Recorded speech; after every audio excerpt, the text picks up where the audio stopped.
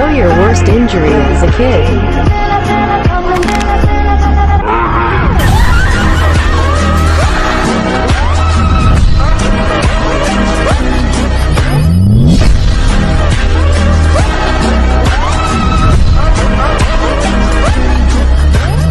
I got stitches a few weeks before the accident because I had a birthmark that I got removed, then ran into the back of a van and opened all the stitches on my cheek. So yeah,